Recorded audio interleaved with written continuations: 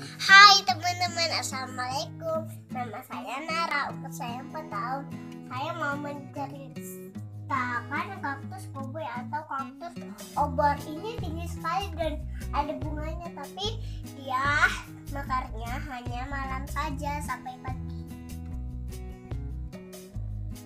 Tapi itu juga wangi, tapi bukan hanya bukan ano bukan malam ini ini sih aslinya wangi. Ini tinggi banget ya. Oh maksud Nara ini kan kita posisinya kita ini sekarang jam 7 malam ya. Jadi memang kalau jam 7 malam itu dia masih belum mengeluarkan wanginya. Nah tapi ketika hampir tengah malam Biasanya di atas jam 11 malam Maka bunga kaktus ini akan mengeluarkan wangi yang sangat khas.